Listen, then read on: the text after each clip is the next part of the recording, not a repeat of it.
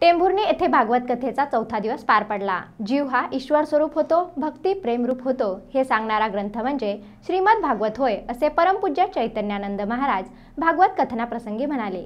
जीव हा सर्व स्वरूप होतो भक्ती प्रेमरूप होतो. हे सांगणारा ग्रंथ म्हणजे श्रीमद भागवत होय. व्यक्तीचे समर्पण त्याग हे वासना नष्ट करू शकते. व्यक्तीने उपाधी सोडली तर जीवनातील खरा आनंद घेता येतो. श्रीमद भागवत हा ग्रंथ नसून प्रत्यक्ष श्रीकृष्ण आहे आणि तो घटाघटात व्याप्त आहे. तो व्यापक आहे. परमपूज्य स्वामीजी म्हणाले की शरीराला नाही तर मनाला एकांतात ठेवा. स्वामी विवेकानंद म्हणतात मी तुम्हाला लोकांतात जरी दिसत असलो तरी माझं मन हे एकांतात परमेश्वराच्या चिंतनात आहे. मनुष्याच्या अंतकरणात आस्था भावना असेल तर प्रत्येक प्राणी मात्रांना देव मानू लागतो गजेंद्र मोक्षाची कथा प्रसंग वर्णन करताना मृत्यूच्या वेळी कोणीही असो स्वतःलाच मृत्यूशी झुंज द्यावी लागते म्हणून आपुला तो एक देव करुणी घ्यावा.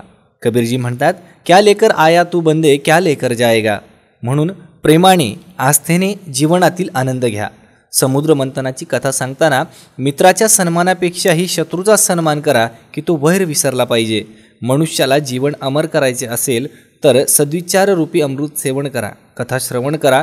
पुढे वामन भगवंताची कथा आणि आजच्या कथेचा शेवटी नंदनंदन भगवान श्रीकृष्ण यांचा जन्मोत्सव साजरा करण्यात आला. Raosaheb Ambhore A I N news Jalna.